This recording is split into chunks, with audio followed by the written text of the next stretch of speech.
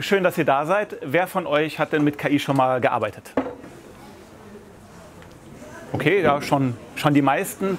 Wer von euch hatte das Gefühl, das hat euch so richtig viel gebracht und auch mal Handzeichen so richtig viel? Okay, nicht so viele. Und wer hatte das Gefühl, eher nicht so, war ein bisschen enttäuschend? Auch ein paar Leute. Gut, die Frage ist wirklich, wie setzt man das ein? Es gibt ganz viel Information darüber, was ist KI, was für Werkzeuge gibt es alles. Da wird der Markt gerade überschwemmt. Aber wir gucken uns heute ein bisschen an, was ist Lernen, was sind Lernprozesse und wie kann ich KI so nutzen, dass es mir beim Lernen auch wirklich was bringt. Genau. Fangen wir erstmal mit so ein paar Grundbegriffen an. Äh, Kognition. Ja, Kognition umfasst im Prinzip alle Aspekte psychischer Funktionen und Prozesse ob bewusster oder unbewusster Natur, also alles, was ihr wahrnehmt, worüber ihr nachdenkt, was ihr abends ähm, euch noch durch den Kopf gehen lasst. Und das äh, leitet sich ab vom ähm, lateinischen Begriff cognitio, erkennen. Da steckt ganz viel drin, also erkennen, ähm, verstehen. Und dann sind wir auch schon direkt beim Lernen. Ist mal so eine Definition, die ich mitgebracht habe. Gibt es natürlich ganz viele verschiedene Definitionen zu. Aber man kann Lernen als Prozess verstehen, der das Erwerben, Verstehen und Integration von Wissen, Fähigkeiten, Einstellungen, Verhaltensweisen ähm, umschreibt und ist ein fortlaufender Prozess, der also schon vor der Geburt einsetzt. Also wir lernen im Prinzip schon bevor wir geboren werden und lernen, bis wir ähm, tot umfallen. Und das eine der wichtigen Sachen ist so ein bisschen, glaube ich, immer das Problemlösen, was man so im Hinterkopf hat. Auf der anderen Seite hat man, wenn man jetzt ans klassische Lernen denkt, so wie man in der UB sitzt, mit einem Buch vor sich und grübelt. Ja? Ähm, das ist aber nicht alles, was das Lernen betrifft, sondern Lernen umschreibt eigentlich so alles, was wir wahrnehmen. Kann also bewusst, unterbewusst stattfinden und alles, was wir wahrnehmen, habe ich gerade ja schon so ein bisschen angedeutet, und erleben, formt unser Denken und formt unser Gehirn. Wir hatten das im Titel verteilte Kognition. Was ist das? Das ist ein Konzept, dass wir nicht alleine auf uns gestellt sind, wenn wir lernen, wenn wir denken, wenn wir Probleme lösen, wenn wir die Welt wahrnehmen, sondern wir machen das in Lerngruppen, hier vielleicht auch in der UB. Wir machen das mit ähm, ja, Hilfsmitteln wie einem Taschenrechner zum Beispiel. Und ähm, hier in der Definition heißt es also, die verteilte Kognition ist ein Konzept, das beschreibt, wie kognitive Prozesse über verschiedene Agenten und Artefakte verteilt sein können und dass es eben nicht ausschließlich nur in unserem Kopf passiert, sondern auch über die Interaktion mit Werkzeugen und anderen Menschen stattfinden kann. Ja, wir haben jetzt so ein Artefakt hier äh, im Bild, eine Einkaufszettel. Ja? Also wenn ich als Mensch Jos mir Sachen merken muss, was irgendwie in meinem Kühlschrank fehlt, dann, damit ich mir das alles merke, brauche ich ein Hilfsmittel. Ja? Sonst bin ich die ganze Zeit auf dem Weg am Grübeln. Das heißt, ich schreibe mir das aus, auf und habe mein Wissen und ähm, meine Kapazitäten sozusagen jetzt frei, weil ich diesen Einkaufszettel habe. Das heißt, das System JOS und der Einkaufszettel können jetzt das Wissen immer noch abrufen. So, das kann man jetzt auf viele verschiedene Sachen anwenden, also zum Beispiel Taschenrechner. Früher mussten die Leute sehr komplexe Formeln, Gleichungen mit dem Papier oder mit dem Kopf lösen. Jetzt haben wir einen Taschenrechner, Heißt, wir können diese Dinge auslagern. Cognitive Offloading heißt es auch. Das heißt, dadurch, dass wir das jetzt auf Werkzeuge, auf vielleicht auch Personen, die wir fragen, auf Wikipedia auslagern können, haben wir Kapazitäten frei. Am Anfang war immer so ein bisschen die Angst, ah, wenn Wikipedia immer dabei ist, dann können die Leute sich gar kein Wissen mehr merken. Ja, so ist es auch nicht. Können uns immer noch tolle Sachen merken, aber wir haben einfach neuen Raum, neue kognitive Kapazitäten jetzt frei. Und so ist es jetzt auch mit der künstlichen Intelligenz. Künstliche Intelligenz ist ein Begriff, der ist sehr, sehr weit gefasst. Also der Begriff der besteht eigentlich seit den 50er Jahren und ist seitdem immer in Veränderung gewesen. Also in Science-Fiction-Romanen wurde der aufgegriffen, in der Wissenschaft, Neurowissenschaften, Computational Science. Ist also ein sehr, sehr weitreichender Begriff. Und was wir aktuell unter künstlicher Intelligenz verstehen, sind ja, so Sachen wie ChatGPT, die wir in den letzten Jahren immer mehr auch einsetzen. Und dann kann man sagen, also künstliche Intelligenz bezeichnet so insgesamt vielleicht den Ansatz, bestimmte Entscheidungsstrukturen des Menschen nachzubilden. Wenn wir uns angucken, wie das am Anfang war mit ChatGPT, dann war das schon beeindruckend, dass da in echter Sprache geantwortet wurde. Aber es war nicht wirklich faktentreu. Also die KI hat uns Dinge erzählt und wir haben gedacht, so, hä? Also irgendwie stimmt das nicht so ganz. Und das war auch am Anfang gar nicht das Ziel. Ja, es sollte kein Lexikon oder ähm, eine Datenbank sein, sondern das ist, wurde versucht, eben solche Menschlichkeit in Algorithmen, in Systeme reinzubringen und das hat gut funktioniert. Also es, die Texte klingen mittlerweile so, als wären sie von Menschen geschrieben und selbst Lehrende, die sich damit viel beschäftigen, ähm, nach einer neuen Studie können zu 45 Prozent nur richtig unterscheiden, ist das jetzt ein menschengemachter Text oder ist das ein Text von einer KI. Und so sieht es auch aktuell mit den Bildern aus, die erzeugt werden. Wir haben also etwa, also man kann fast sogar sagen, der Münzwurf ist genauer im Unterscheiden zwischen KI und menschlichem Erzeugnis. Jetzt ist es so, dass die KI also versucht oder es wird ja antrainiert, Wissen zu erwerben, zu verstehen und anzuwenden. Das klingt so ein bisschen wie das, was wir eben beim Lernen gehört haben. Und ein Teilbereich ist jetzt dieses Mensch-Maschine-Feedback-System, was wir bei ChatGPT, ich nenne mal ChatGPT einfach als Stellvertreter, gibt natürlich ganz viele verschiedene Werkzeuge, die unterschiedliche ja, Aufgaben erfüllen und auch diese ähm, generative KI ist nur ein ganz kleiner Bereich der künstlichen Intelligenz, ähm, ist ein Teilaspekt des Deep Learnings und des Machine Learnings. Da, diese technischen Aspekte, die, da gehe ich jetzt nicht drauf ein, können wir später noch in der Fragerunde drüber reden.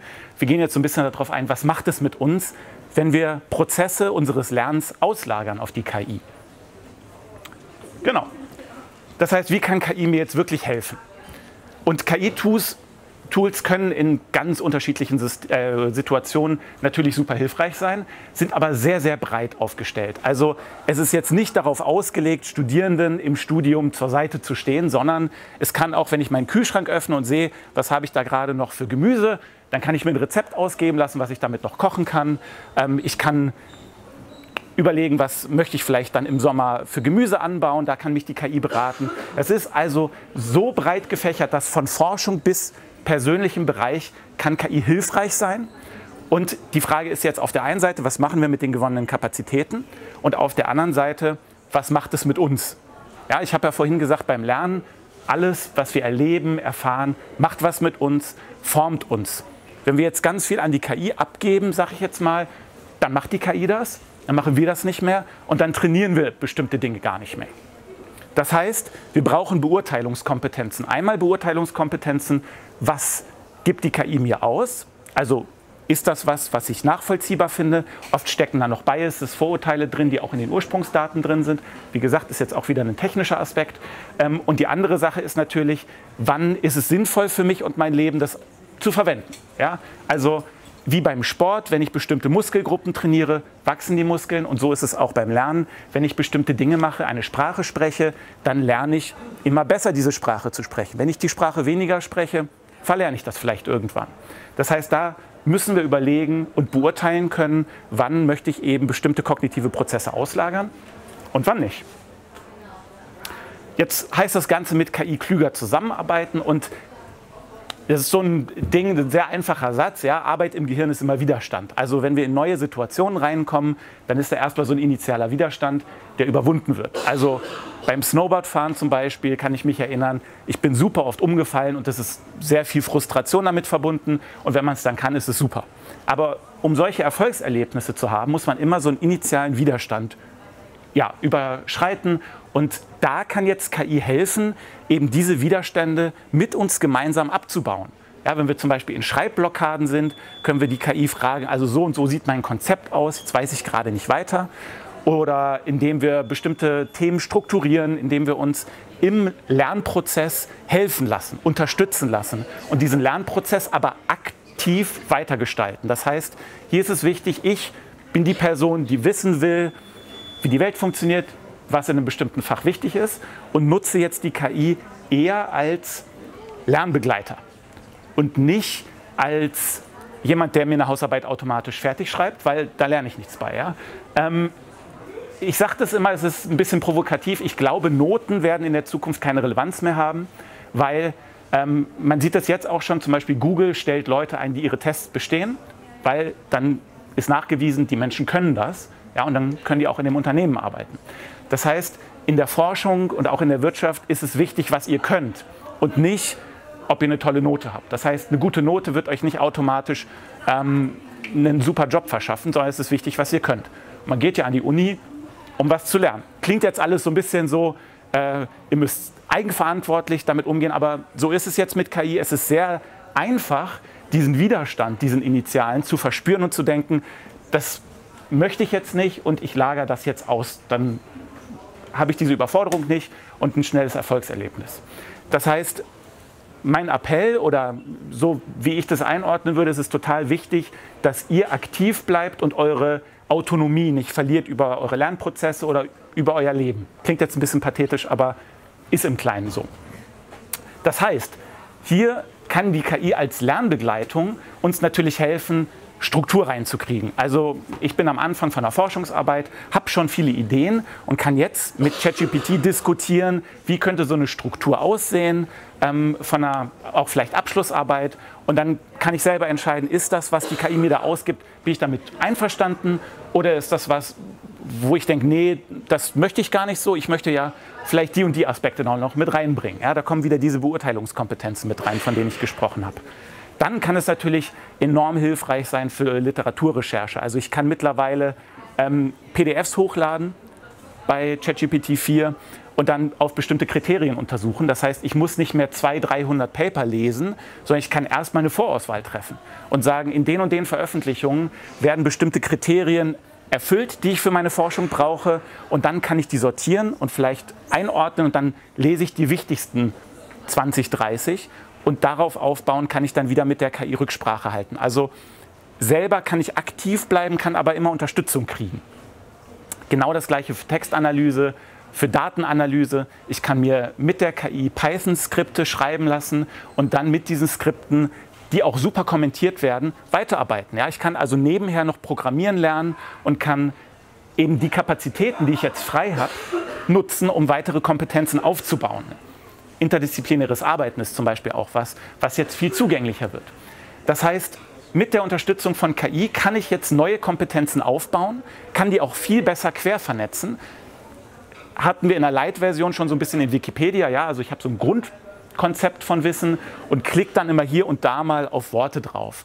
Das geht jetzt mit den aktuellen KI-Modellen sehr, sehr gut, dass ich eben mein Wissen quer vernetze und die Konzepte, die ich schon im Kopf habe, mit anderen Konzepten verbinde und viel eher in so ein interdisziplinäres Arbeiten reinkomme. Die Kehrseite ist natürlich, wenn wir jetzt viel automatisieren und diese neuen Kapazitäten dazu nutzen, weiß nicht, vielleicht mehr Serie zu gucken, ähm, dann sind die Lernprozesse natürlich, ja, werden immer kleiner und nach drei bis sechs Jahren an der Uni habe ich nicht so viel gelernt. Ja, das heißt, auch später im Job oder in der Forschung habe ich eigentlich die die Zeit nicht so genutzt. Ich sage jetzt nicht, dass man Zeit optimal immer nutzen muss, aber ähm, das ist einfach so ein bisschen die Kehrseite, die man im Hinterkopf haben kann. Genau. Dann sind wir auch schon so ein bisschen am Ende. Also Fazit nochmal als Zusammenfassung, Arbeit im Gehirn ist immer Widerstand. Das erleben wir eigentlich jeden Tag, wenn wir uns in Situationen begeben, die neu für uns sind, ist es immer so, dass unser Gehirn in so einen kleinen Alarmzustand geht. Ja, es kennt was noch nicht. Wenn es eine Situation schon kennt, dann ist es entspannter. Das heißt, hier ist es so, wir lernen nur und wachsen über uns hinaus, wenn wir uns in Situationen begeben, die wir noch nicht kennen, wissen uns aneignen, was wir noch nicht kennen. Und da kann KI uns super unterstützen, auch Neues zu lernen und kann auch Einstiegshürden, zum Beispiel zum Programmieren oder für andere Sprachen, enorm senken. Dann Beurteilungskompetenzen. Ich möchte also meine Autonomie behalten über meine Prozesse im Leben, über meine Prozesse in der Forschung oder im Lernen und muss natürlich auch einordnen können, dass das, was die KI mir da rausgibt, auch wirklich nützlich für mich ist. Und zum Schluss nochmal, äh, ich, ich komme aus den Neurowissenschaften, finde ich sehr wichtig, dass man sich einfach klar macht, alles, was wir wahrnehmen und erleben, formt uns und unser Denken. Genau. Das war's. Also ganz kurz noch, uns interessieren auch immer Studierendenperspektiven. So, schreibt uns einfach mal eine Mail, weil wir arbeiten ganz viel mit Lehrenden an der Uni und haben deren Perspektiven. Aber wie Studierende mit dem ganzen äh, KI-Thema ähm, umgehen und was es auch für Schwierigkeiten hat, da haben wir wenig Einblick. Das heißt, wenn ihr Lust habt, so schreibt uns einfach gerne Mail Und äh, ja, danke, dass ihr da wart. Das, genau, das ist die Frage. Also ob, ob du durch diese Nutzung der KI den Widerstand senkst und dann auf einmal in der Lage bist, Programmieren zu lernen. Ja? Und wenn das ein Widerstand ist, der abgebaut wird und du kannst nach ein paar Monaten programmieren, ist das doch super. Wenn du allerdings Sachen komplett auslagerst und sagst so, alles klar, die Hausarbeit ist jetzt fast von alleine entstanden und die Frage ist, was habe ich dabei gelernt und so richtig viel hast du da nicht bei gelernt, ist das natürlich ein Problem. Ja, das heißt, Widerstände sind vor allen Dingen ich würde nicht sagen, dass sie eben einen Sinn und Zweck haben, sondern sie sind einfach da, weil dein Gehirn einen Aufwand betreiben muss. Und unser Gehirn ist immer eher gerne in einem Energiesparmodus. Ja? Und es muss aber einen Aufwand betreiben, um Neues zu lernen. Und wenn wir diesen Widerstand ein bisschen abbauen können, oder bei einer Schreibblockade zum Beispiel, ja? also ich sitze vor einer, oft ist es sehr, sehr schwer anzufangen. Und wenn ich dann aber ins Arbeiten komme und anfangen kann, dann ist das doch erstmal super. Genau, also man kriegt im Prinzip Kapazitäten, ja, die jetzt frei sind und kann jetzt diese zeitlichen und auch mentalen Kapazitäten wieder neu nutzen. Und ich nutze es zum Beispiel sehr gerne, also man kann es mittlerweile sich auch als App ähm, auf seinem Smartphone äh, haben und dann unterhalte ich mich mit der KI kurz. Also in der echter Sprache, ich frage einfach, hey, ich habe gerade äh, ein Konzept zu dem und dem Thema, kannst du da kurz mir was zu erzählen? Und dann kriege ich einen kurzen Input dazu und dann kann ich damit weiterarbeiten und das quer vernetzen.